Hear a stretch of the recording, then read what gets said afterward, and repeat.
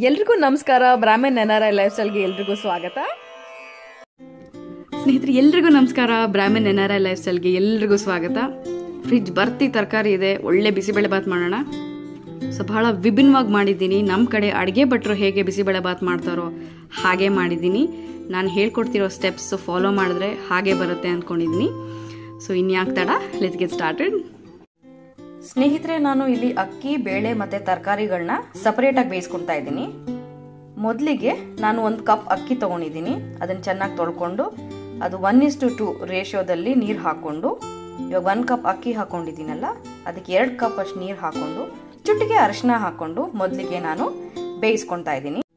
ಸ್ನೇಹಿತರೆ, ಮೊದಲಿಗೆ ನಾನು ಒನ್ ಕಪ್ ಬೇಳೆ ತಗೊಂಡಿದ್ದೀನಿ. ಇಲ್ಲಿ ನಾನು ಮೊಸರು ಬೇಳೆ ತಗೊಂಡಿದ್ದೀನಿ. ತೊಗರಿ ಬೇಳೆ ಸಹ ಉಪಯೋಗಿಸ್ಕೊಳ್ಬೋದು.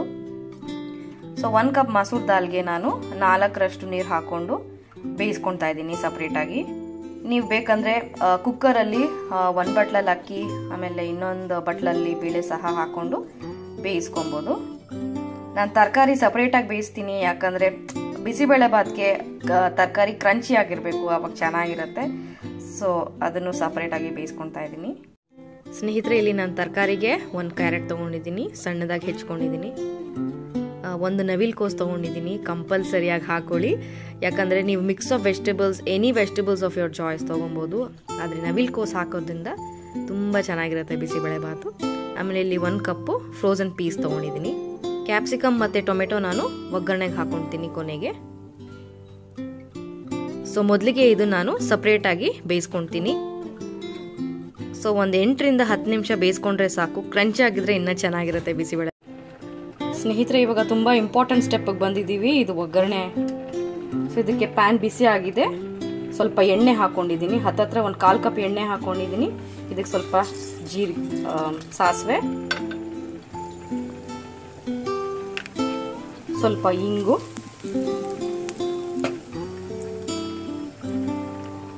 ಒಂದು ಸ್ವಲ್ಪ ಒಂದೆರಡು ಸ್ಪೂನು ಕಡಲೆಕಾಯಿ ಬೀಜ ಮತ್ತು ಗೋಡಂಬಿ. ಚೆನ್ನಾಗಿ ಫ್ರೈ ಆಗಲಿ.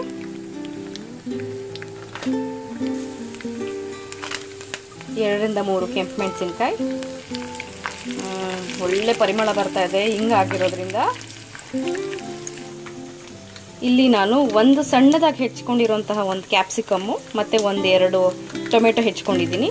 ಸೊ ಇದನ್ನು ನಾವು ಒಗ್ಗರಣೆಗೆ ಡೈರೆಕ್ಟಾಗಿ ಹಾಕ್ಕೊಂಡು ಫ್ರೈ ಮಾಡ್ಕೊಳ್ಳೋಣ.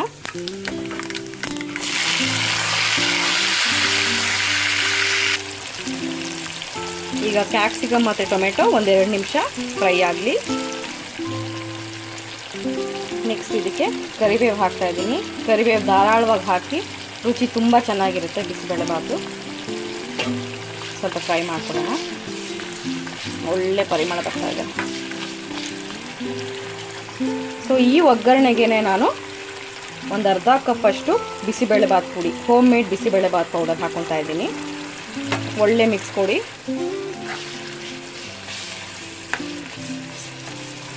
ಸೊ ಬಿಸಿಬೇಳೆಬಾತ್ ಪುಡಿ ನಿಮಗೆ ಮಾಡೋಕ್ಕೆ ಟೈಮ್ ಇಲ್ಲ ಅಂದರೆ ಸ್ಟೋರ್ ಬಾಟು ಉಪಯೋಗಿಸ್ಕೊಳ್ಬೋದು. ಅದರಲ್ಲೂ ನೀವು ಯು ಎಸ್ನಲ್ಲಿ ಏನಾದರೂ ಇದ್ದರೆ ಎಂ ಟಿ ಎಂ ಟಿ ಆರ್ದು ಬಿಸಿಬೇಳೆಬಾತ್ ಪುಡಿನೂ ಉಪಯೋಗಿಸ್ಕೊಳ್ಬೋದು. ಅವ್ರದ್ದು ಎಕ್ಸ್ಪೋರ್ಟ್ ಪ್ರಾಡಕ್ಟ್ ತುಂಬ ಚೆನ್ನಾಗಿದೆ. ಬಟ್ ನನ್ನ ಪ್ರೀವಿಯಸ್ ವಿಡಿಯೋ ನೋಡಿದ್ರೆ ಹೋಮ್ ಮೇಡ್ ಬಿಸಿಬೇಳೆಬಾತ್ ಪೌಡ್ರ್ ಹೇಗೆ ಮಾಡೋದು ಅಂತ ನಿಮಗೆ ಗೊತ್ತಾಗುತ್ತೆ. ಸೊ ಅದನ್ನು ರೆಫರ್ ಮಾಡಿಕೊಂಡು ಸಹ ನೀವು ಪುಡಿ ಮಾಡ್ಕೊಳ್ಬೋದು. ಸೊ ಈಗ ಟೊಮೆಟೊ ಸ್ವಲ್ಪ ಸಾಫ್ಟ್ ಆಗಿದೆ. ಇವಾಗ ಒಂದೆರಡು ಸ್ಪೂನ್ ಹುಣಸೆ ರಸ ಹಾಕೊಂಬಿಡೋಣ. ನಾನಿಲ್ಲಿ ಒಂದೆರಡು ಸ್ಪೂನಷ್ಟು ಹುಣಸೆ ರಸ ಹಾಕೊಳ್ತಾ ಇದ್ದೀನಿ ಇದಕ್ಕೇನೆ. ಸೊ ಚೆನ್ನಾಗಿ ಹೊಂದ್ಕೊಳ್ಳಿ, ಚೆನ್ನಾಗಿ ಫ್ರೈ ಮಾಡಿ.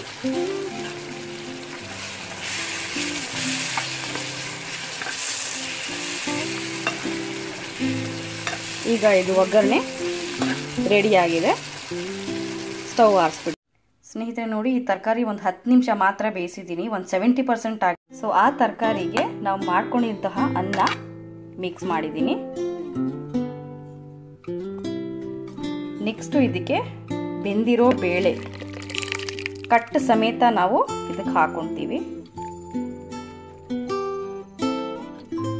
ಚೆನ್ನಾಗಿ ಕೂಡಿಸಿ.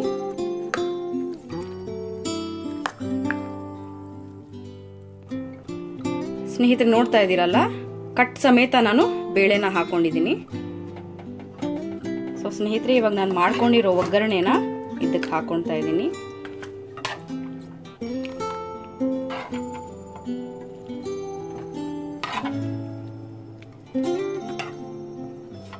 ಸೊ ಉಪ್ಪು, ಹುಳಿ, ಖಾರ ಎಲ್ಲ ಈ ಒಗ್ಗರಣೆಯಲ್ಲೇ ಮಿಕ್ಸ್ ಮಾಡಿರೋದ್ರಿಂದ ಚೆನ್ನಾಗಿ ಹೊಂದ್ಕೊಂಡಿರುತ್ತೆ. ಸೊ ಬಿಸಿಬೇಳೆ ಬಾತ್ ತುಂಬ ರುಚಿಯಾಗಿ ಬರುತ್ತೆ. ಸೊ ಇವಾಗ ನಾವು ಸ್ಟವ್ ಆನ್ ಮಾಡಿಕೊಂಡು ಚೆನ್ನಾಗಿ ಕೂಡಿಸ್ಕೊಳ್ಳೋಣ. ಒಂದು ಹದಿನೈದು ನಿಮಿಷ ಚೆನ್ನಾಗಿ ಕುದಿಬೇಕು. ಸೊ ಒಂದು ಒಳ್ಳೆ ಮಿಕ್ಸ್ ಕೊಡಿ. ಸೊ ಇವಾಗ ಕನಿಷ್ಠ ಪಕ್ಷ ಒಂದು ಫಿಫ್ಟೀನ್ ಮಿನಿಟ್ಸು ಚೆನ್ನಾಗಿ ಕುದಿಲಕ್ಕೆ ಬಿಡೋಣ. ಸೊ ಅನ್ನದಲ್ಲಿರೋ ಸ್ಟಾರ್ಚ್ ಎಲ್ಲ ಬಿಟ್ಕೊಬೇಕು. ಅವಾಗ ಒಳ್ಳೆ ಕನ್ಸಿಸ್ಟೆನ್ಸಿ ಬರುತ್ತೆ. So meet you after fifteen ಸ್ನೇಹಿತರೆ, ಇವಾಗ ಒಂದು ಹತ್ತು ನಿಮಿಷದಿಂದ ಇದು ಕುದೀತಾ ಇದೆ. ಇವಾಗ ರುಚಿಗೆ ತಕ್ಕಷ್ಟು ಉಪ್ಪು ಹಾಕೊಂಡ್ಬಿಡೋಣ. ಸೊ ಇವಾಗ ನೀವು ಉಪ್ಪು ಹುಳಿ, ಖಾರ ಏನು ಕಮ್ಮಿ ಇದ್ರೂ ನೀವು ಹಾಕೊಬೋದು. ಇವಾಗ ಒಂದು ಐದು ನಿಮಿಷ ಚೆನ್ನಾಗಿ ಇದನ್ನು ಕುದಿಸ್ಕೊಳ್ಳೋಣ. ಸೊ ಸ್ನೇಹಿತರೆ, ಇವಾಗ ಬಿಸಿಬೇಳೆ ಭಾತ್ ಚೆನ್ನಾಗಿ ಕುದ್ದಿದೆ, ಚೆನ್ನಾಗಿ ಹೊಂದ್ಕೊಂಡಿದೆ. ಇವಾಗ ಬನ್ನಿ ರೆಡಿಯಾಗಿದೆ ಸರ್ವ್ ಮಾಡ್ಕೊಳ್ಳೋಣ. ಸ್ನೇಹಿತರೆ, ಬಿಸಿ ಬಿಸಿಯಾಗಿ ಬಿಸಿಬೇಳೆಬಾತ್ ರೆಡಿ ಆಗಿದೆ. ರುಚಿ ನೋಡಿದೆ ತುಂಬ ಚೆನ್ನಾಗಿದೆ.